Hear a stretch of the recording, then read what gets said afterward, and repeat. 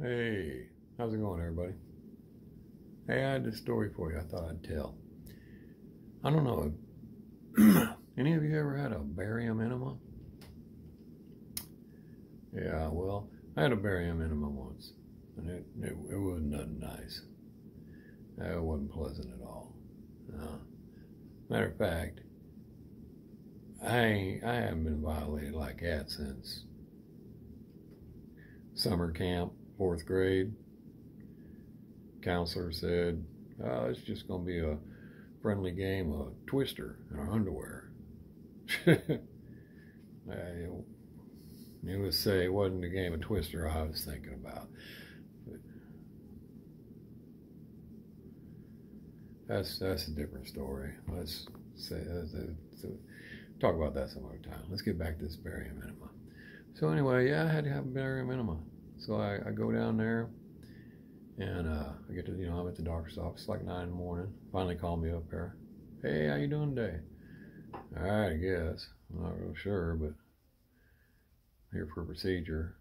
Uh, yeah, yeah. She says, yeah, it looks like you're here for a barium enema. Uh, yeah, I think that's what it is. I think that's why I'm here. Okay, well, come on back. Uh, we'll try to make your visit as pleasant as possible pleasant. You, bet you got the word enema mixed in with my procedure. I don't, I don't see how any of this is going to be pleasant. But, I, you know, I just kept my mouth shut. Went on back. Yeah. I'm trying to be nice as can be because you just never know what will happen in these situations. So, there. So, I get back there, and of course she says, "Go, uh, I need you to go in the bathroom here. Put on this gown. Uh, you can't have nothing else on, just the gown. Uh, you can keep your socks on if you're cold, but nothing else. Come back out." So I do. I go in there. I put my gown on and and I come back out, and uh, she says, "All right, you need to lay down, face down on this bed right here." And so I get on it. And there's a bunch of straps and everything. Well, they strap you down because she says, you know, we got to roll you around, and we don't want you to fall off. So I get on there. She gets me all strapped down. And she rolls this cart over.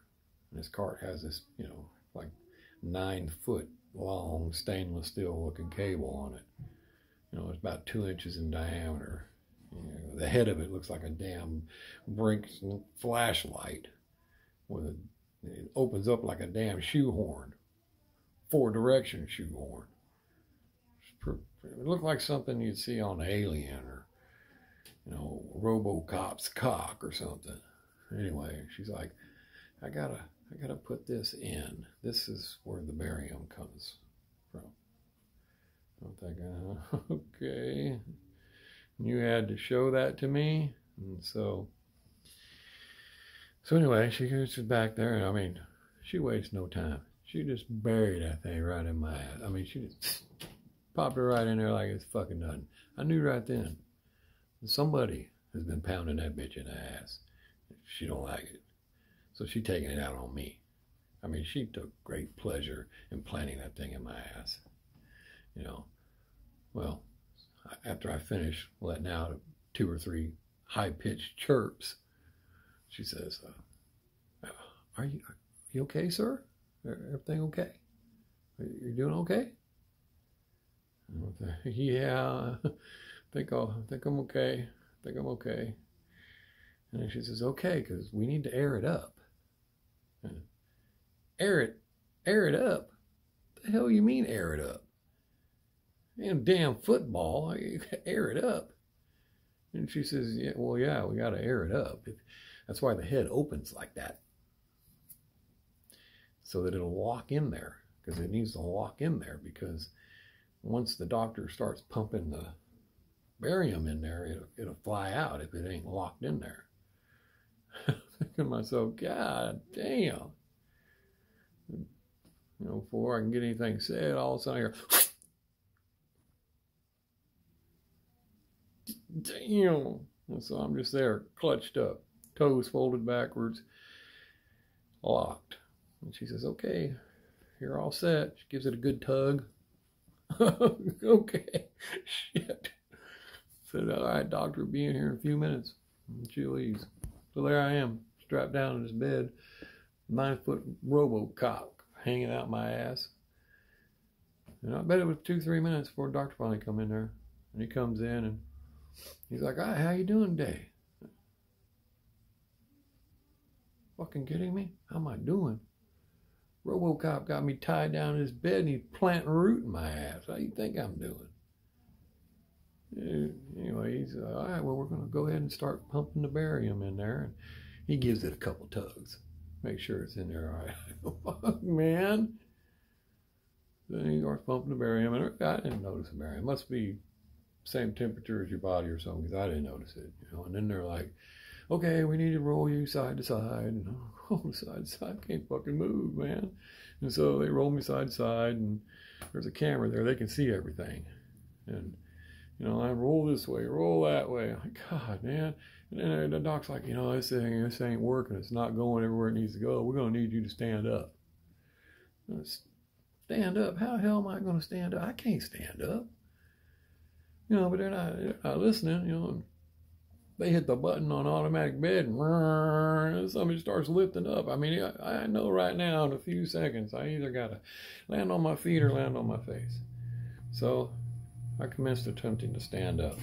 And sure enough, I landed on my feet, uh, but it didn't feel very good.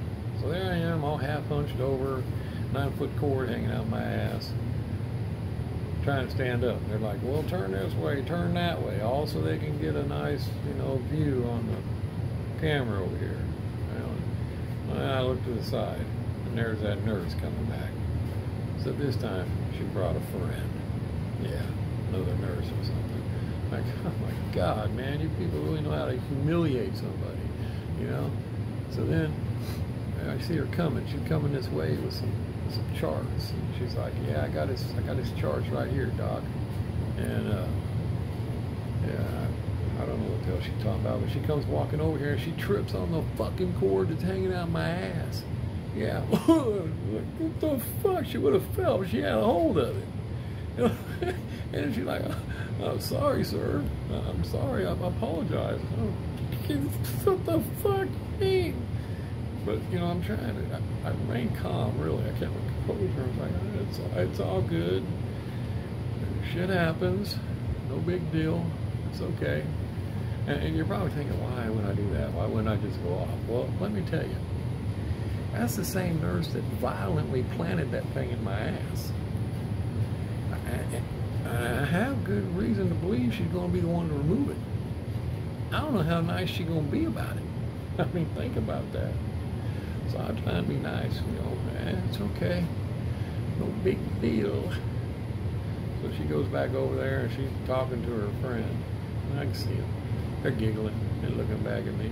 They're giggling. I don't know what they're saying. Did you see that? did you see what I did there? Yeah, that'll teach him, huh? Yeah. How do they like it when they plant shit in our ass? Yeah. Uh, I'm not that guy. Can't tell him that. Yeah.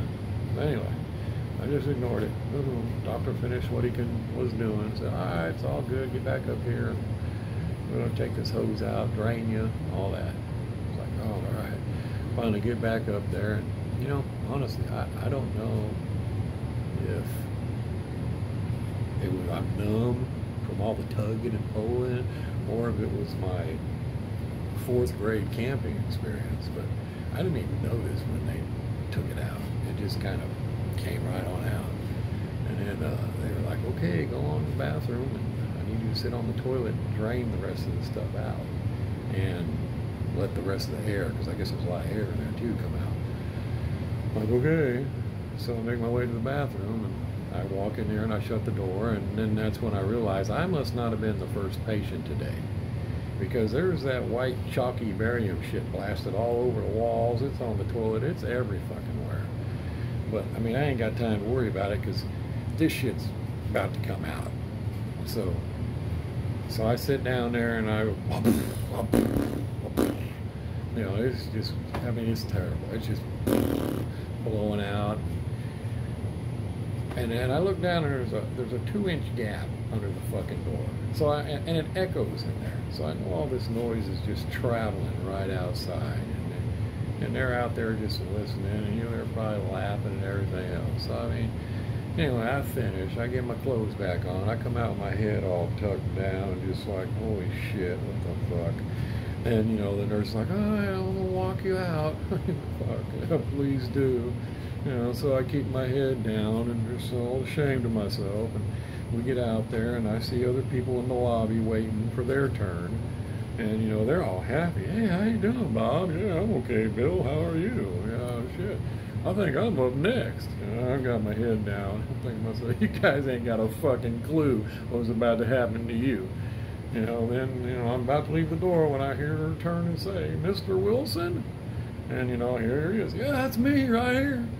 How are you doing today, Mr. Wilson? I'm fine. How are you, young lady? Oh, couldn't be better. Come on back. We're going to try and make this a pleasant experience for you. Thought to myself, yeah, you dumb motherfucker, you ain't got a clue what's about to happen to you.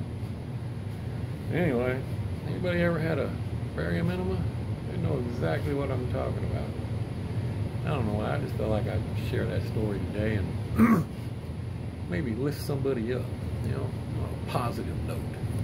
Something to look forward to, you know, like never having a barium enema.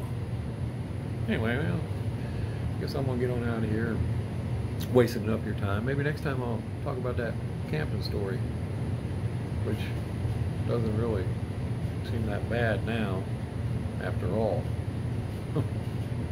anyway, see y'all later. Peace out. Ciao.